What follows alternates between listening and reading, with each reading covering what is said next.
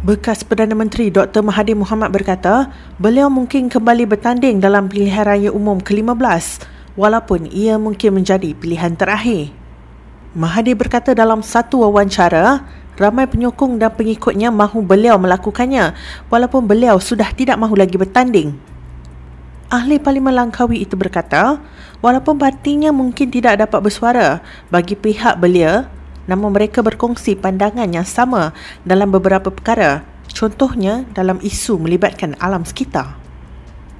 Beliau turut mendakwa tidak ada kesaksamaan dalam layanan terhadap individu mempunyai status yang berbeza sambil berkata bahawa bekas Perdana Menteri Najib Razak masih bebas walaupun didapati bersalah oleh mahkamah. Menurut Mahathir, nampaknya ada standard yang berbeza memandangkan ada yang dimasukkan ke dalam penjara walaupun belum didakwa di mahkamah. Manakala Najib telah pun didakwa, dibicarakan dan didapati bersalah namun belum dihukum.